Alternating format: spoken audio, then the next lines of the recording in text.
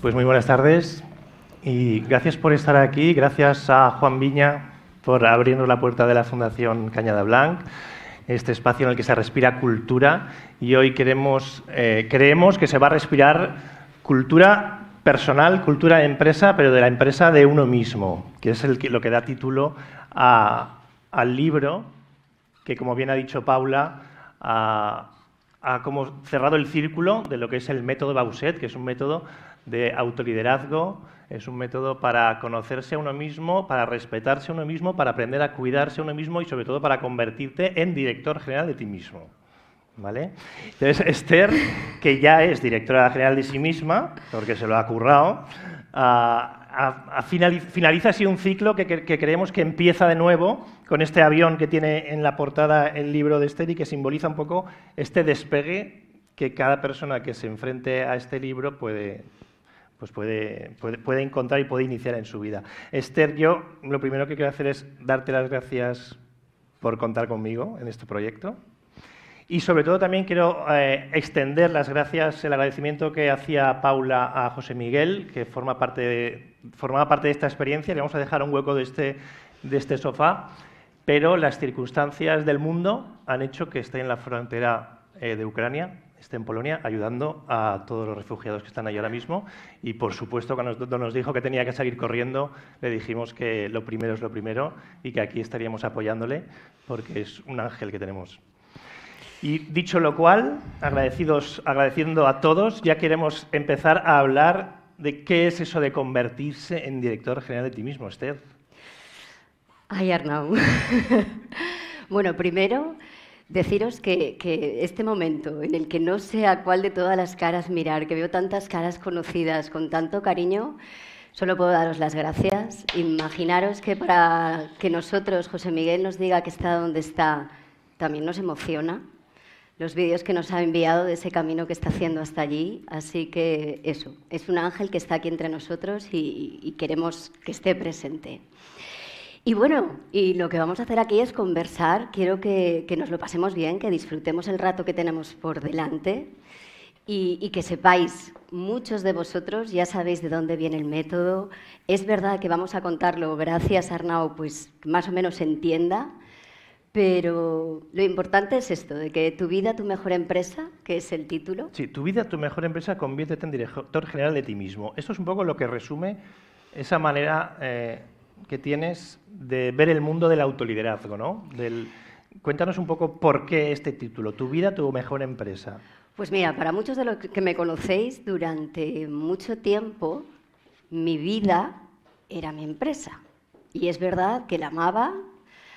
Hoy mismo he recibido un ramo de flores de esa misma empresa, pero se me olvidaba que más allá de la empresa, lo más importante es nuestra vida. Y, claro, fijaros, cuando hablamos de lo de liderazgo y autoliderazgo, yo os, haría una pregunta. ¿Quiénes de los que estáis aquí os sentís líderes? Poquitas manos, una, dos, Dani, Noelia, Rosa, Alfonso. Algunos de los que levantan la mano creo que han hecho el método ¿eh? O sea, es buena señal, funciona. Sí, fijaros que, es verdad que el lenguaje y las connotaciones que tiene, cuando pensamos en la palabra líder, creemos que es algo como muy lejano y que no nos toca. Pero es que yo creo que todos somos líderes desde el momento que todos influimos en los demás. Influimos en nuestros hijos, en nuestros amigos, por supuesto en nuestro trabajo. Y lo que pasa que en todo eso muchas veces nos olvidamos de nosotros. Y yo cuando os cuento eso es porque eso es lo que me pasa a mí. Primero deciros que para mí es una ilusión que esté aquí Arnau, porque imaginaros yo en todas mis charlas, cuando explicaba de dónde venía todo esto, siempre lo mencionaba. y entonces el hecho que esté aquí sentado conmigo, pues ya es ese cerrar el círculo del que hablábamos, ¿no? Y bueno, es verdad que para que todos lo sepáis, al final los directores generales de las empresas tienen una misión muy clara, ¿no? Aquí hay algunos que lo sois y, el resultado es, pues hay unos resultados económicos, pero eso en el siglo XXI se queda muy corto. Las empresas tienen que dejar huella, tienen que dejar impacto. Y ellas son las empresas que van a ayudar a hacer ese mundo mejor. Claro, si eso, las, las empresas lo que hay son personas, ¿qué tenemos en común todas las personas del mundo? ¿Qué es lo que cada uno de una forma u otra queremos para nuestras vidas? Y os dejo que lo penséis. ¿Cómo lo llamaríais a eso? ¿Qué queréis de vuestra vida? Felicidad. Felicidad. Venga, animaros. Equilibrio. Éxito. Éxito. Pues eso mismo, al final es, tenemos que tener las herramientas porque creemos que es la vida quien nos tiene que hacer felices y nosotros tenemos que asumir la responsabilidad para conseguir ese equilibrio, ese éxito, esa felicidad. Y porque cuanto más felices seamos todos, creo que el mundo será un mundo mejor. Y tú explicas esto con una metáfora. Tú lo que haces es comparar la empresa con la vida y la vida personal con el funcionamiento de una empresa. Y es la manera en que explicas esta manera de ir autogestionando en diferentes áreas de tu vida. Pues mira, en ese momento de mi vida es cuando Arnau llega a la empresa en la que trabajaba, Grupo Siro, ahora se llama Cerealto, Siro Group. Y Estamos hablando de 2015. De 2015, ah, imaginaos, hace siete años, siete u ocho años, porque ya empezamos antes, y ese presidente de la compañía me dice, mira, tienes un reto. Tienes que conseguir que los 400 jefes que hay en esta empresa dejen de ser jefes y se conviertan en líderes, que estén al servicio de sus equipos porque eso va a ser la única forma en la que la empresa sea sostenible. Claro, imaginaros para mí, o sea, qué reto, qué emoción, qué todo. Claro, la suerte que tuve es que en ese momento José Miguel estaba trabajando conmigo llevábamos todo esto, que no era una, tarea sencilla, y entra, y entra Arnau. Claro, nosotros estábamos viendo muy de cerca lo que es dentro de una empresa un presidente con una visión, con un sueño, un director general y toda la estructura, todos los trabajadores. Cuatro mil. Cuatro Que no eran pocos. Que no eran pocos. Claro, cuando estos dos señorcitos, uno que está aquí y está lejos, que está ahí, realmente él me hacía esa pregunta, me decía, pero Esther, ¿tú sabes que eres directora general de ti misma? Y claro, yo decía, claro, o sea, no me ves el trabajo que tengo, con quién me codeo, ¿sabes? Lo importante que soy. Fijaros cómo es a veces el Lo rápido que ibas. Iba rápido. Ibas muy rápido. Yo cuando conocí a Esther, ella eh, estaba todo el día, esto ya lo, ya lo he contado alguna vez, pero es que me gusta contarlo. ella iba con sus taconcitos, su trolley, iba corriendo por el pasillo del AVE, que es un tren de alta velocidad, y ella ya iba a, velocidad en el AVE. Entonces iba a velocidad al cuadrado. Yo cuando la conocí, su estilo de vida era ese, una velocidad al cuadrado. Estabas muy bien pagada, también hay que decirlo. Pero bueno, ¿eso te paga? Eh, ¿Eso es sostenible? Pues eso mismo, yo me veía con mis 43 años, en ese momento con la maleta, la llamada, el ordenador, el portátil, y yo decía, madre mía, esto eh, voy a ser capaz de seguir haciéndolo cuántos años más, ¿no? Y, es verdad que la vida muchas veces nos, nos, da señales que a veces no estamos atentos y entonces, pues bueno, mm, pasan desapercibidos. Pero fijaros que a mí me dio varias señales a la vez, que eran como las piezas de un puzzle, que cuando las pones juntitas, dices, es el momento, es un punto de inflexión para cambiar de vida. Y la directora de comunicación se quedó muda. Y la directora, una, bueno, una de las señales, imaginaros eso. Bueno, afónica, porque muda... Exacto, muda, más sonado ahí un poquito. afónica, afónica. Pero bueno, que es, era todo un, todo un oxímoron. Que te convirtieras en una, directora de comunicación que, no, que se le la señal que le dio un poco la vida fue que se, le quedó, se quedó sin voz. Claro, y fijaros, ahí ya era una de las primeras señales que luego dio sentido, da sentido al método, porque es decir, Igual que en una empresa, cuando las cosas no se hacen bien, los colaboradores, ya lo sabéis, ¿no? Empiezan a quejarse, a no estar a gusto, a no existir ese buen clima laboral. Pues nosotros, igual que en una empresa hay un presidente, un director general y una estructura, nosotros, ¿qué somos? Una mente, un cuerpo, el que está aquí presente, y una parte más sutil que cada uno la podemos llamar como queramos, Aquí mi querido Arnau lo llama la fuente, otros lo llaman energía, otros lo llaman Dios. A mí me gusta llamarlo alma, porque además encaja perfectamente. Los presidentes de las compañías siempre son el alma de la compañía. Aquí tenemos uno, ¿verdad, Jaime? Y lo hemos hablado muchas veces. Esa empresa va a seguir creciendo, pero siempre el alma es de ese fundador. Y claro, ahí es donde se hizo ese match que os voy a contar un secreto. Ese match lo creamos aquí, este señor generoso y esta señora, en un momento de inspiración, de creación, para dar una conferencia que decidimos titularla así, cogimos unos posits y nos dimos cuenta de esa equivalencia. Claro, a mí, como os decía, mi cuerpo me estaba avisando. Me estaba quedando sin voz y eso Realmente era una señal sutil, pero de que algo no estaba bien. Y entre todas esas señales que os decía de piezas del puzzle, y ahora miro hacia allí, está mi querido Fernando Roca, que un sábado me dijo, Esther, estoy viendo que estás perdiendo el entusiasmo, que te falta energía. Y sí, o sea, había algo que dentro me estaba diciendo algo. Y entonces me dijo, mira, el coach, a los amigos es muy difícil hacerles un proceso, pero, pero tengo una herramienta que realmente, quizás si la probamos, bueno, fue como quitarme una venda.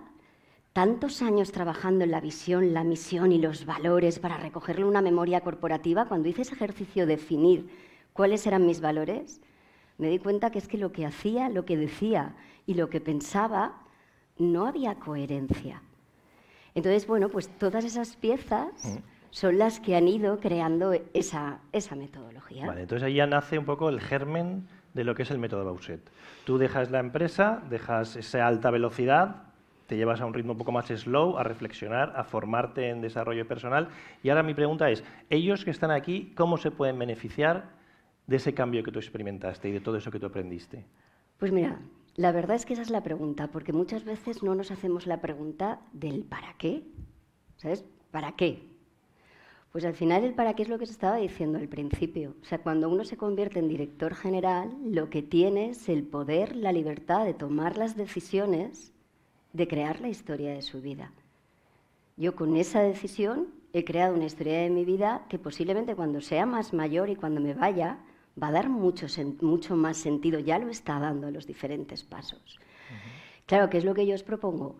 Que os sintáis directores generales de vosotros mismos. Pero eso no, eso no significa que se tenga que dejarse la empresa, ¿eh? No, no, al contrario, fijaros, yo, ¿sabéis lo que os diría? porque hay mucho motivado. Claro, claro.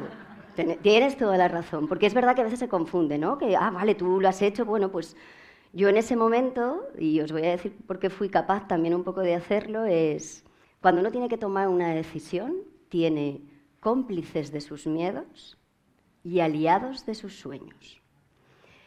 Ambas personas te quieren muchísimo. Y fijaros, voy a ser transparente, que es uno de los valores. Aquí tengo a mi hermano y a mi hermana. Imaginaros, con 43 años, una niña de 7 años, divorciada, que les dijera, tete, teta, que es como les llamo, voy a dejar la empresa. Pero ¿estás segura, Esther? ¿Estás segura con lo que te ha costado llegar ahí, con lo que te gusta? Porque me apasionaba mi trabajo. Pero tenía una aliada de mis sueños, que realmente es la verdadera inspiradora del método, de hecho lleva su apellido, que es mi madre, y que creo que es lo mejor que podemos hacer por nuestros hijos. Ella siempre me decía, Esther, cree en ti, lo que tú te propongas, si lo haces sin creerte mejor que nadie, pero nadie es mejor que tú, y te esfuerzas, porque lógicamente tiene que haber esfuerzo, tú farás lo que buigues, chiqueta, y aquí tengo a Rosana, que la conoció mucho, bueno, muchos de vosotros la habéis conocido. Entonces, creerme que tomar decisiones muchas veces, ¿verdad? ¿No? Tomamos decisiones de pasillo, o sea, las tomamos así sin ponerle mucha conciencia. Por eso, una de las herramientas, y, es verdad que esto es fruto de esta creatividad infinita que tiene, que tiene este señor que tengo aquí al lado, que es gran parte del método, es tenemos que aprender a tener reuniones con nosotros mismos. Y cuando... ¿Qué es una reunión? ¿Qué es una reunión contigo mismo? Que a mí me gusta el concepto. Hombre, tanto que te gusta. ¿Qué es? ¿Cómo la definirías? Pues bueno, esto está supongo que expresado aquí. Está ahí expresado. Os vamos a dar pequeñas pinceladas de, las claves, pero la, reunión contigo mismo, sin, hacer, spoiler del todo, pero es cuando uno siente dentro esa sensación de que algo no está fluyendo, no está en el camino, y muchas veces no, lo que os decía, no queremos observarlo, ahí tenemos que darnos un tiempo para parar, para pensar, en previo, si queréis, desconectar y respirar un poco y conectar con vosotros y daros cuenta de esa decisión que a lo mejor a veces tomamos de forma un poco espontánea, hacia dónde nos va a llevar, Y si paramos y pensamos un poco más en el largo plazo, ¿qué es lo que hacen los buenos directores generales? Hay directores generales que van apagando fuegos y hay directores generales que tienen una visión a largo plazo. Entonces, esa reunión es sentarte, encontrar el momento apropiado, dedicarle el tiempo apropiado, tener muy claro el para qué, que es que vas a tomar una decisión que va a suponer y va a tener unas consecuencias en tu vida, e incluso os diría, escribirlo. Escribir las diferentes opciones, volverlo a leer, deciros esa verdad que todos tenemos dentro que a veces no escuchamos. Y desde ahí, y es verdad, o sea, muchas veces necesitamos, yo soy así, a mí me encanta contar con la opinión de mucha gente, porque muchas veces se nos, escapan miradas que otra persona te pueda hacer una reflexión, pero luego yo con todo esto, ¿qué decido? Y esas reuniones contigo mismo, pues la verdad es que cuando uno... pero, pero mi, pregunta es... Eh, sí. Eh, él me puede cortar todas las veces que queráis. Eso ¿eh? cuesta. Muchas veces vas en la rueda del hámster montado, instalado en la rueda del hámster, y cuando te das cuenta dices, ostras, ¿cuándo tuve mi última reunión conmigo mismo? Y, no te acuerdas, porque estamos todo el rato muy hacia afuera. Eh, en este caso, es una cuestión, el, que se lea este libro, el que quiera seguir el método Bauset, tiene que ser un, tío zen o un superdisciplinado o marcial o algo especial tiene que tener. Pues ¿sabes lo que tiene que tener? Tiene que ser auténtico.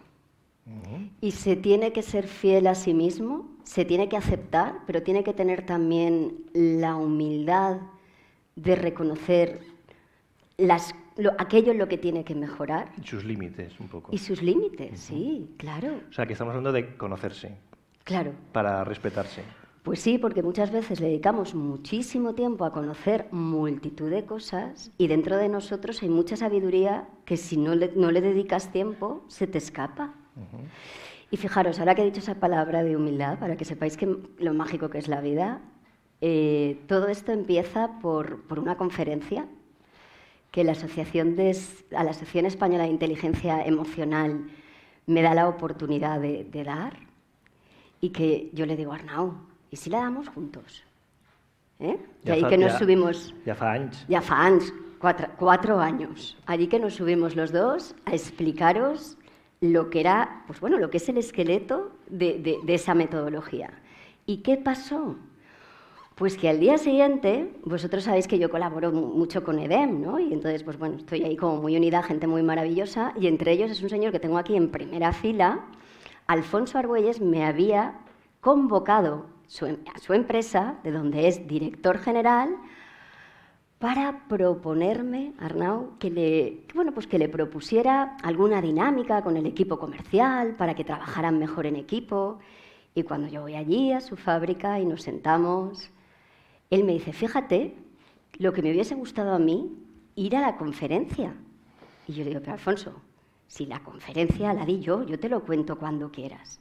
Él me cuenta un poco la situación y hay momentos en los que hay que ser un poco valiente, que se nos olvida. Y es verdad que fui un poco atrevida, porque le dije, Alfonso, ¿y si en lugar de al equipo comercial haces, trabajas tú conmigo? Ahí no existía el método todavía ni nada, ¿no? O sea, imaginaros, la suerte que tuve es una persona humilde, porque otro podría haber dicho, oye, que yo no te estoy pidiendo nada. Llámalo para persona humilde, llámalo cobaya. Pero, pero sí, pero parece que le ha ido bien, porque aquí lo tienes, no se ha ido. Lo fue, lo fue. Yo solo le pedía, tú luego, que eso también nos cuesta, tú dime en cada sesión lo que te ha sobrado, lo que te ha gustado, lo que... porque al final es verdad, fue la primera persona, fue mi piloto. Claro, cuando tú ya ves que todo eso va cogiendo y oye que sí, que le está gustando y tal, pues bueno, una que venía mucho de hacer mucho método, mucha empresa, digo, pues voy a hacer otro piloto. Y entonces otro piloto fue en nuestra casa, en Rocafort, a personas de las que para mí son admirables y que su opinión pues iba a ser muy sabia. Y allí me llevó a ocho personitas, de ellas creo que tengo aquí a dos, a Juan Villarrosa y a Serena. Y Uy, madre mía, qué emoción, por favor. Y a Mónica y a Elisa, si estáis casi todas. Y a Fernando, Dios mío. Y yo digo, yo solo quiero que me regaléis un día de vuestra vida que es oro. Bueno, si es que estáis todos casi. Bueno, nos falta uno. Nos falta uno, que está en el cielo.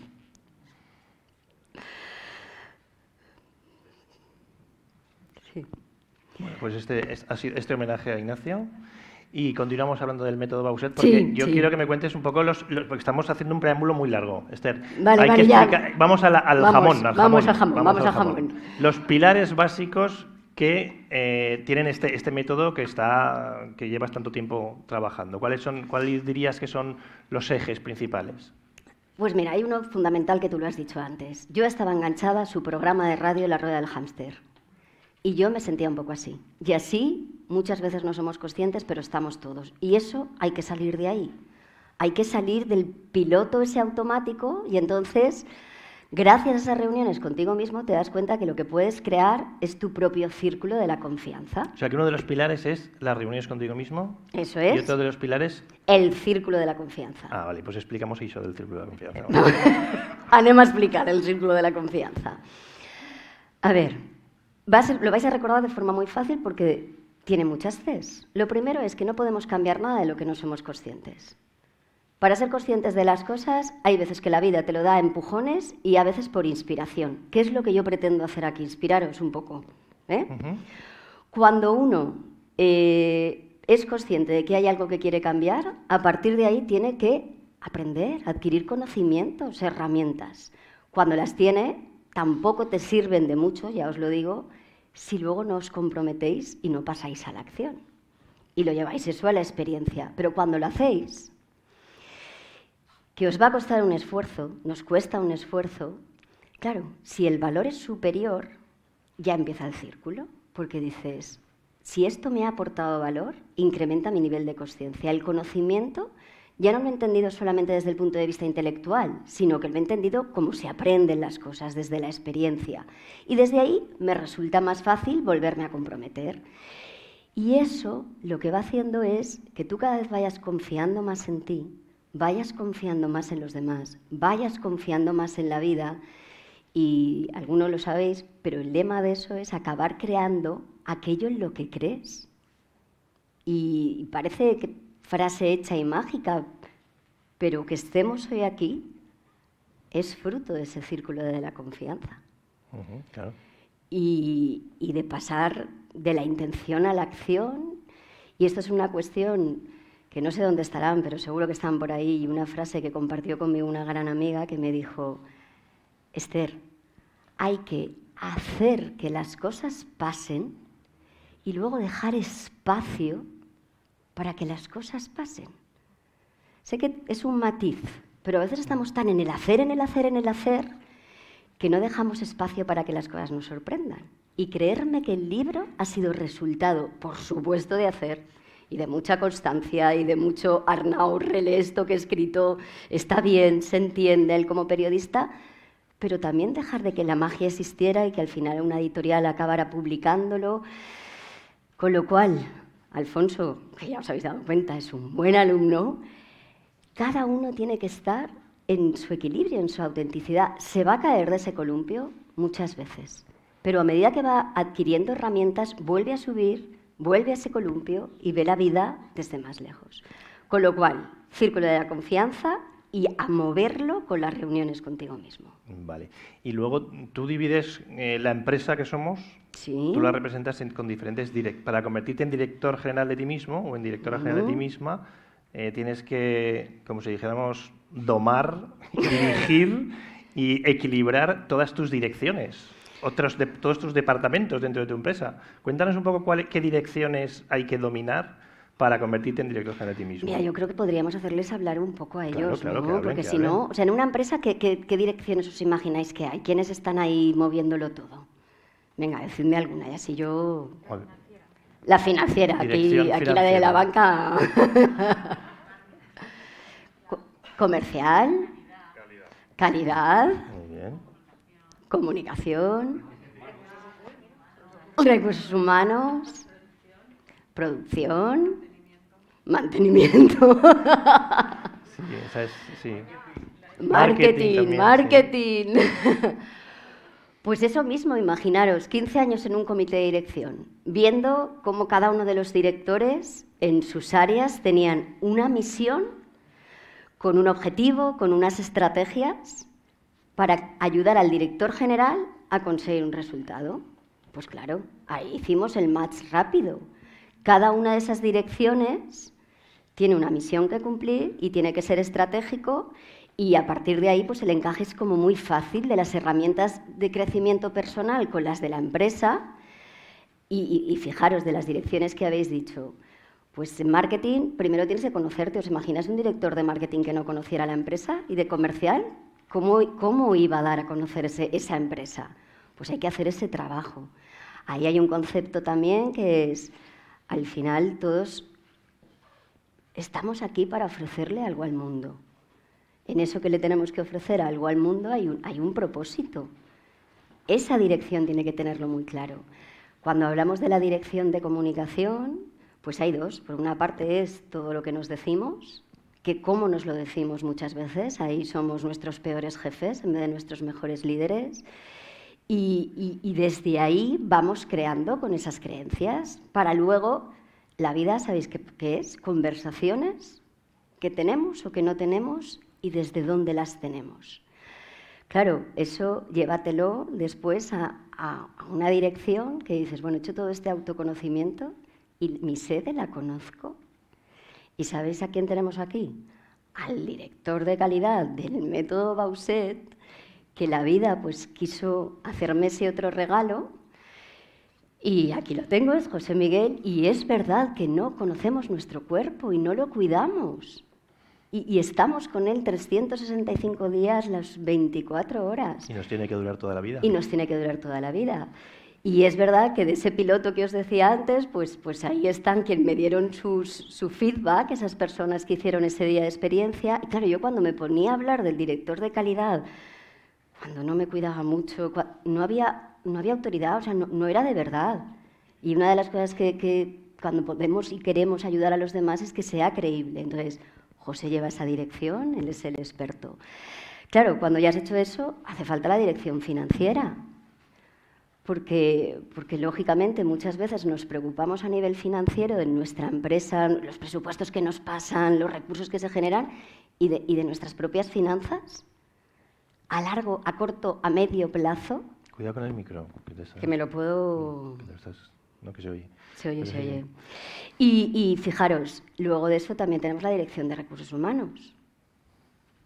Que no hace falta que venga alguien a decirnos cuáles, cuáles son nuestras funciones y nuestras responsabilidades. Podemos asumir esa responsabilidad de decir, yo como madre, como amiga, como hermana, como hija, ¿cuáles son mis responsabilidades? y además pues haceros vuestra propia autoevaluación y vuestro plan de carrera. Y todo eso por terminar bien, claro, y lo decíais antes, ¿qué tenemos nosotros? O sea, nuestra vida qué es? Es tiempo. Y hay que saber sacarle el máximo fruto a este regalo que es la vida. Y hay un concepto que, cuando os leáis el libro lo veréis, que es productividad vital no soy muy productivo en el trabajo y así quizá a lo mejor encuentro un rato para, poder ir al gimnasio. No, espera, da, dos pasos hacia atrás y ten claras cuáles son tus prioridades, porque de verdad cuando decimos esa frase no tengo tiempo, mirar lo que estamos diciendo. Si la vida es tiempo, si yo estoy diciendo no tengo tiempo, estoy diciendo no tengo vida. Y creo que si hay algo en común, además de que todos queremos ser felices, ¿sabéis lo que tenemos en común todos? 24 horas al día. Eso está puesto ahí y todos tenemos las mismas 24 horas. Que hoy hayáis querido estar aquí, que yo os lo agradezco, es porque para vosotros estar aquí, bueno, pues era una prioridad, queríais estar aquí apoyándome. Al final tomamos decisiones. E, esa, es la esencia y una última pregunta antes de pasar a que nos pregunten ellos, que seguro que tienen muchas preguntas interesantes que hacer y mucha curiosidad sobre el método Bauset. Eh, hablas de, que, aquí lo pone, estás a punto de iniciar una auditoría sobre ti mismo y quiero avanzarte que en este libro son igual de importantes las preguntas que las respuestas. Eh, cuando te enfrentas a, ese proceso de autoliderazgo que, podría ser el, método Bauset, tienes que atreverte a ver cosas que a lo mejor no, te gustan. Mirar, ¿y sabéis lo que pasa? Que en el fondo luego todo es, es muy sencillo, porque es lo que he pretendido al recopilarlo aquí en este libro, es Fijaros, las cosas que nos preocupan en la vida siempre van a estar relacionadas con estas tres dimensiones. Temas de salud, temas económicos, de dinero, y temas de amor, de relaciones. Y esa relación empieza por nosotros mismos. Entonces lo que hay que intentar es encontrar ese equilibrio. Ese equilibrio que tú mismo decías, ¿no? Yo ese equilibrio, ese triángulo equilátero lo convertí en un, triángulo isósceles, donde mi única parte del que pesaba era el trabajo. Era el trabajo. Entonces, claro, el final es, bueno, nosotros podemos seguir en nuestro caminito, podemos parar, pensar y decir, ¿cómo me siento ahora? ¿Cómo me siento en todas las áreas de mi vida? ¿Qué resultados estoy consiguiendo? ¿Qué querría cambiar? Y esa es esa auditoría que te tienes que hacer a ti mismo. Y el objetivo es convertirte en un líder sostenible. que, te que, seas, que te puedas sostener. Exacto, que era lo que me pasaba a mí, que, con esa troli que tú decías, pues, pues era difícil que fuera sostenible. Fijaros, lo de liderazgo sostenible, que son dos palabras, ¿no? La que os decía antes, liderazgo, y creo que solamente se han levantado la mano cinco o seis personas, y que ahora ya quiero que entendáis ese sentido de liderazgo, que os lo hagáis suyo. Al final, liderar, liderar es amar, liderar es, que, e, es respetar, es cuidar, es admirar. Y liderar es servir. O sea, la vida tendría sentido si no estuviésemos al servicio de los demás. No tendría sentido. Y para que sea sostenible y sea auténtico, también tenemos que encontrar nuestro equilibrio tanto a nivel físico como a nivel, emocional y a nivel mental. Entonces, al final ese es el liderazgo sostenible, es liderazgo de servicio, pero a su vez que esos líderes, que todos no perdamos nuestro equilibrio y nuestro bienestar para que pueda continuar en el tiempo. Muy bien. yo creo que sería un buen momento para que alguien se animara a preguntar. Claro. Si queréis, eh, que levante la mano quien quiera preguntar, porque hay un micrófono por ahí. ¿Cómo vamos de tiempo? ¿Vamos bien? Vamos bien, vamos bien. Vamos bien. Espera que, te, espera que te llegue el micro enseguida. Con micro y todo. El micro. Hola, se escucha, ¿no? Buenas tardes. Bueno, eh, yo más que preguntar quería hacer una, un agradecimiento. Un agradecimiento porque a Esther nos conocemos hace ya años. Tuvimos la oportunidad de compartir ese sábado completo probando el método y a mí me cambió la vida. Y no es coña.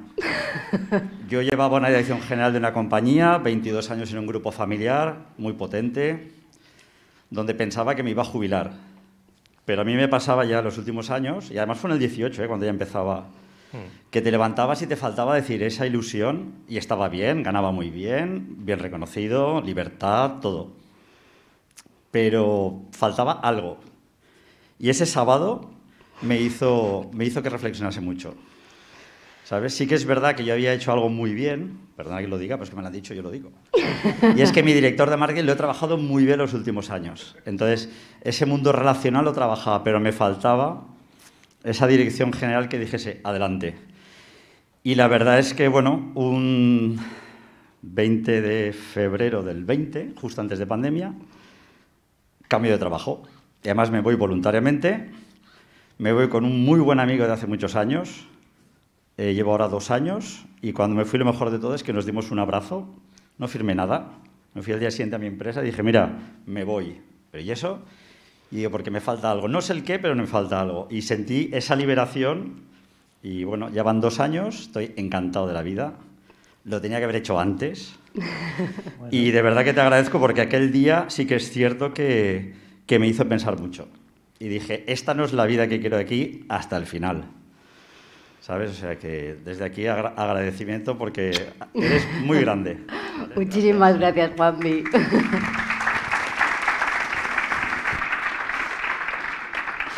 Jolín, ni, ni traído preparada de casa, ¿eh? Qué bien que te digan esto, ¿no? Porque ese es un testimonio, vamos, fundamental. Me cambió mi vida, pues ya me dirás.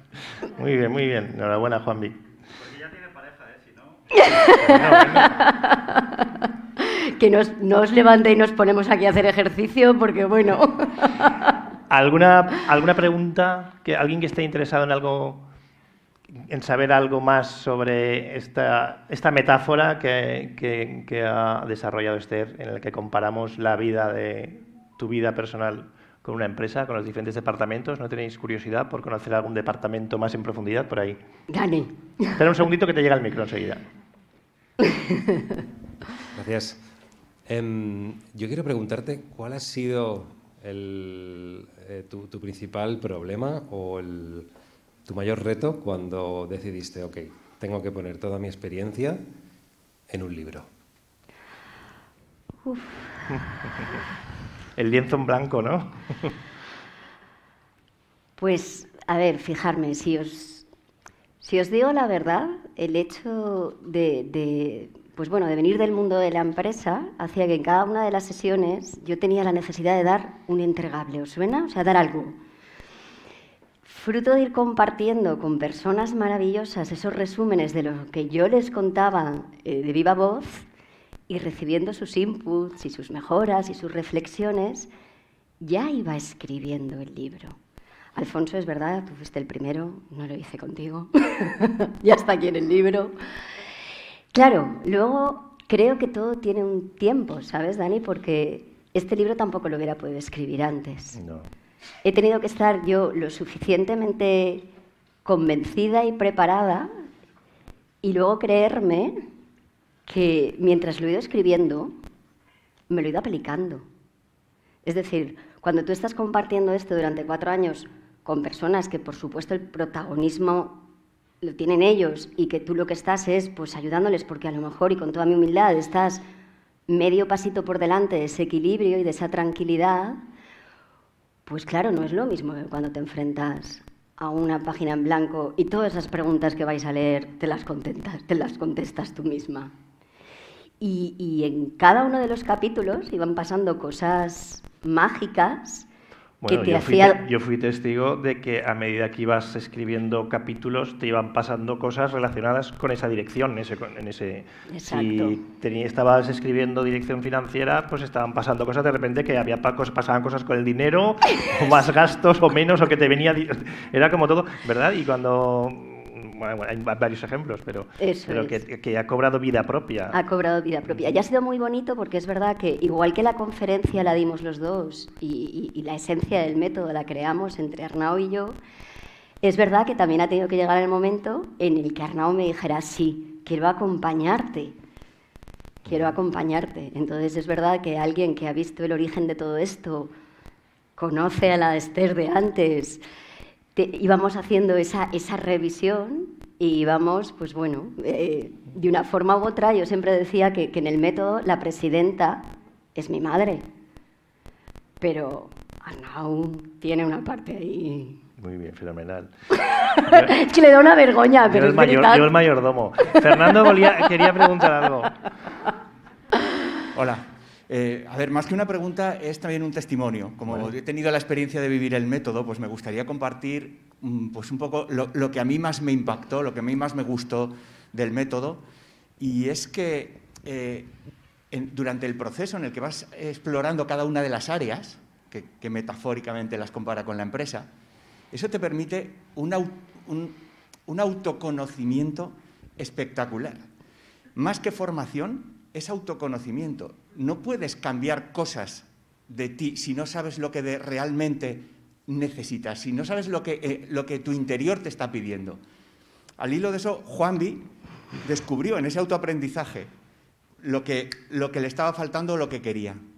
Esther también ha comentado en un testimonio hace un momentito que también tuvo un punto de inflexión cuando tuvo ese autoconocimiento de, de ver cosas de ella que están dentro de ella y no las había visto. Bueno, pues yo creo que algo valiosísimo del método, y que lo, añado porque no lo habéis dicho, es que durante cada uno de esos procesos de, explorar cada una de esas áreas, te permite un nivel de autoconocimiento que te permite, que, te va a permitir ver cosas de ti que no veías y así poder hacer cosas que ni se te hubieran ocurrido. Muchas gracias.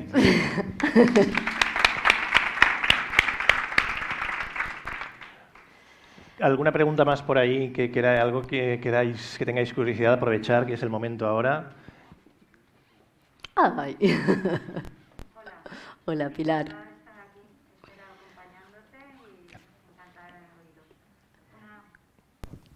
Hola, perdón.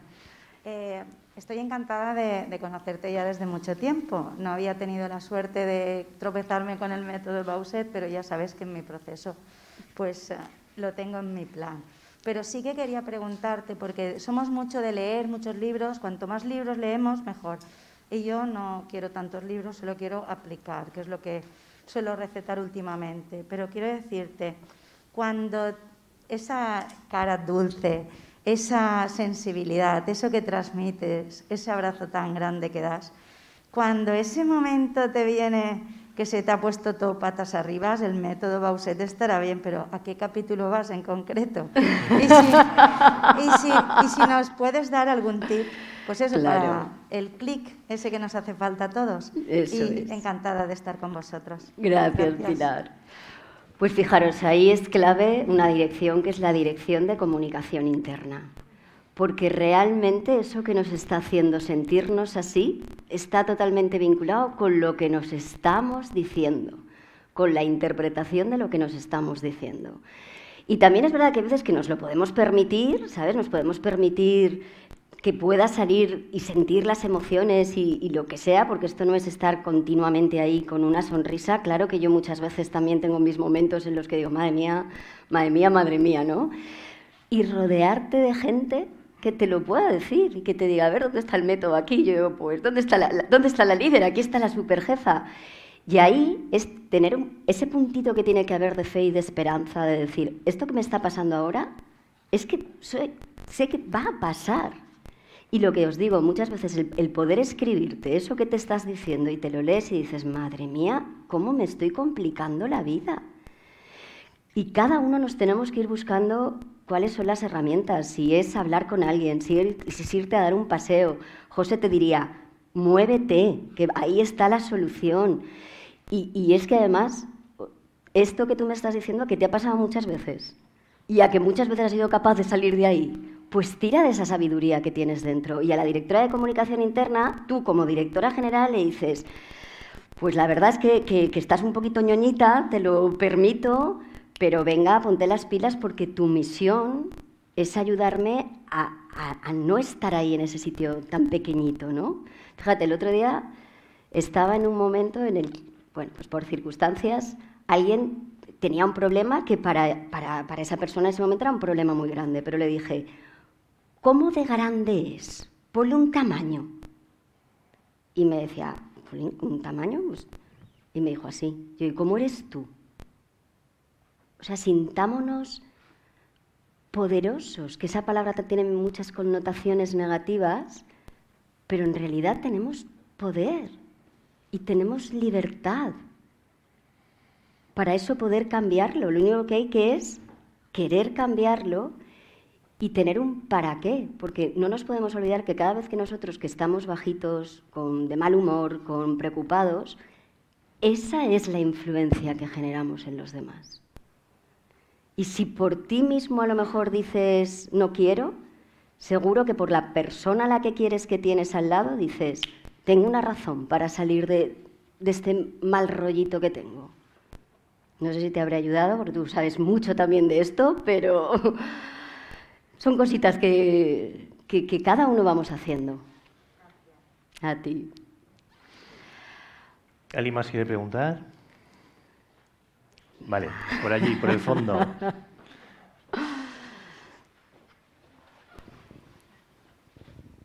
Bueno, pues Esther, eh, enhorabuena primero de todo por, por, este libro, ¿no? Por, bueno, por este libro y por todo el camino que, de vida que, que, estás teniendo, que lo sigo muy cerca desde hace muchos años y lo sabes.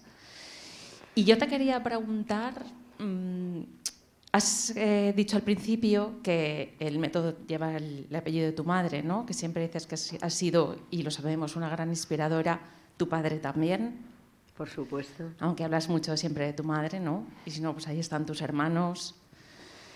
Y mm, entiendo que escribir el libro te habrá traído mucho la energía ¿no? a tu madre, a tu padre, y eso te habrá dado mucha fuerza.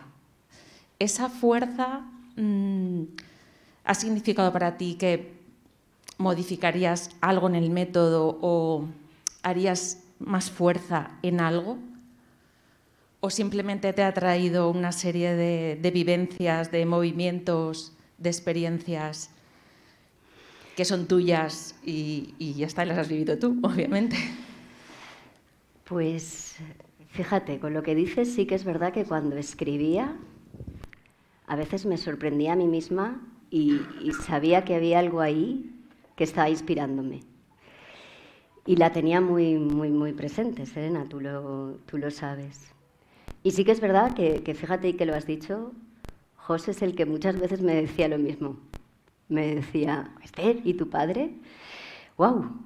Y, y es verdad. Y mi padre. Mi padre era bondad absoluta. Mis hermanos, que los tengo aquí, son hijos de su padre. La señora Bauset era una señora muy flamenca, los que lo conocéis también lo sabéis. Y todos tenemos que hacer de eso, de, de, de, las personas que nos han regalado la vida, que son nuestros padres, un acto de amor para saber que todo lo que nos han podido aportar lo han hecho lo mejor que han podido con las herramientas que tenían. Y, eso es un poco lo que me quedo, porque sí que es cierto que eso, y fijaros, os voy a reconocer una cosa, la que me has tocado ahí la llaguita. Imaginaros hoy que me encuentro con que mi hija, con sus 13 años, eh, le he dicho, ¿quieres venir, Elsa? Y me dice, no quiero ir, mamá. Quiero ir a jugar a entrenar al fútbol. Imaginaros. Te has tenido que aplicar el método.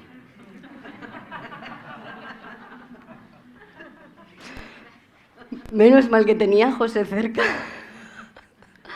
Porque era desde mi ingenuidad, que cada uno en ese propio autoconocimiento, yo sé que muchas veces soy muy ingenua. Esta mañana cuando hablé con ella estaba convencida de, sí, sí, José, por lo que me ha dicho, seguro. Y cuando ha llegado y me ha dicho, a ver, si me dices que tengo que ir, voy. Pero claro. Pero si me dejas que yo decida, no. Bueno, pues es esa libertad. O sea, no perdamos esa libertad y eso sin perder el saber que la vida tiene sentido si estamos al servicio de los demás, ¿no?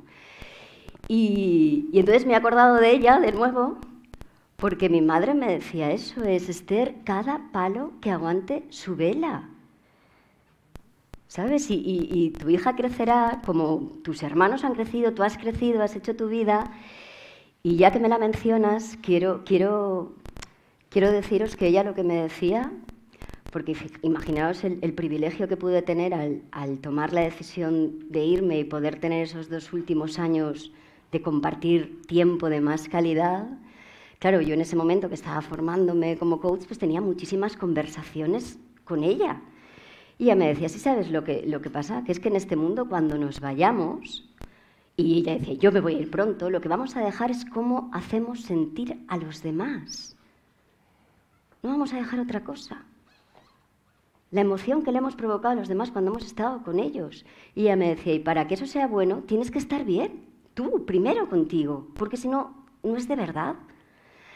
Y, y entonces todo eso, mientras lo iba escribiendo, pues lo iba recordando, lo iba sintiendo y me sentía como, como si la tuviera sentada ahí al lado, ¿no? Así que bueno, gracias por, por recordármela. Tú que la conociste muy, muy bien. y, muy bien, pues si no hay más preguntas, eh, damos paso, concluimos. Con esta frase de tu madre yo creo que estamos, acabamos en alto. Acabamos en alto, es que él entiende mucho de esto. y entonces a hacer sentir, ahora que sientan lo que, lo que, el pozo que les queda ¿no? de esta charla que hemos tenido. Ahora, si no me equivoco, hay un vino y Esther estará ahí detrás en aquel sofá gris firmando libros de quien, quien desee que se lo firme. Así es que muchísimas gracias por venir, Esther, y muchísimas gracias por inspirarnos un ratito, que ha estado muy agradable. Yo desde aquí cerquita lo he visto muy bien.